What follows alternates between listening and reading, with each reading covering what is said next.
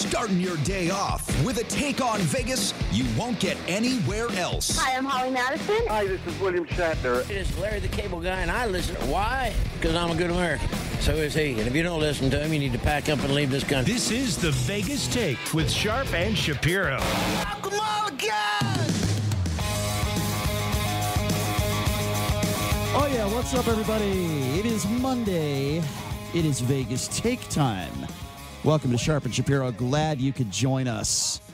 A very busy weekend, so plenty to go over today. Chris Wynn also in studio.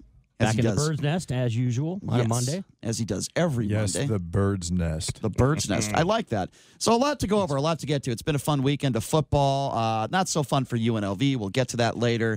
Uh, also, what a finish to the Las Vegas Aces basketball game.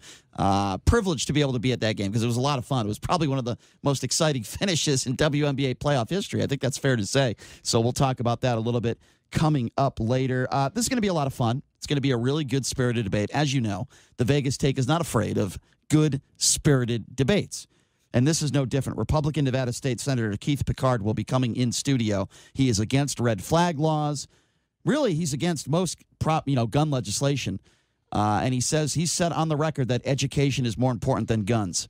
Uh, so we're going to ask him about that. Going to talk to him about that. He's going to be coming in studio coming up in hour number two, and of course, plenty to get to as I mentioned in the sports world. And we'll go over everything that took place, including even the Vegas Golden Knights uh, were in action yesterday. So we'll talk all about that coming up later in the program. But I want to start with this because you know this is, I would call it tragic. What else would you call it? We've lost a couple pretty famous people, uh, great musicians uh, in the in the rock legend world. These are two rock legends. We start with the Cars. This just happened, you know, a few days ago. Uh, Ric Ocasek.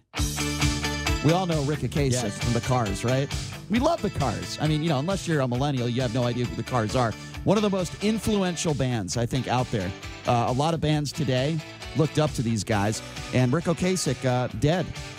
You know, I, I he was he was not an old man by any No. stretch of the imagination, um, but really sad. And then a few days before that, we hear the sad news of a guy that I saw in Las Vegas just a few years ago. Eddie Money used to perform in Las Vegas all the time.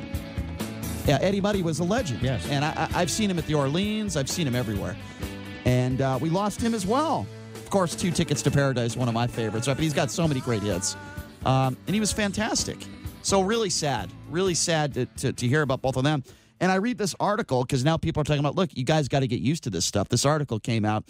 A lot of these guys are, are sadly are gonna we're gonna be losing them very soon. These guys are not getting any younger, right? Bob Dylan is 78 years old. Now maybe Bob Dylan will live to 120. I don't know, but uh, you know Paul McCartney, who just did a I, I don't I cannot believe how much energy Paul McCartney has at 70, 77 years old. But he he's on stage for like three hours at the T-Mobile a few weeks ago. Uh, Paul Simon, 77. Art Garfunkel, 77. Keith Richards, 75. Mick Jagger, 76.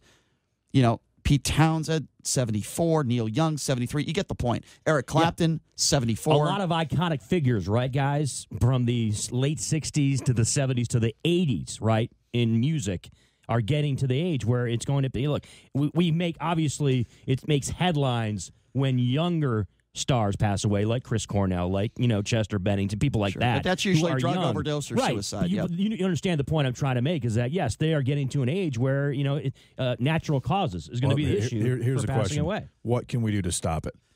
well, there's nothing you can do to that's- stop stop old You age. I mean, you can't know. stop JD. You can't stop passing away from nat- natural causes. Yeah, we're not know, talking so- about we're not talking about mass shootings. We're just talking about people Right, dying of right, old age. Exactly. Sadly, people people yeah. get old, and and they die. Unfortunately, It just makes people And- like and- Paul and that is- McCartney and and, others the- get nervous, you know, because Well, they see their Well, but, their you know, counterparts if- passing if, away. If Paul McCartney can go on stage for three hours and perform, then obviously his body is in decent physical shape. I think, Mick, that, I think, Jag- I think Mick that he'll Jagger, be around Steven for a while. Tyler, guys like that, right, who are up there along Yes. with these people. sure. Uh, what, but what is Steven Tyler like? 64, 63, he's up there. He's definitely around that. Yeah, he's up there. around that age. maybe close to seventy. Yeah. But uh, anyway, our condolences to the families. Of course, uh, Cars lead singer Ric Ocasek.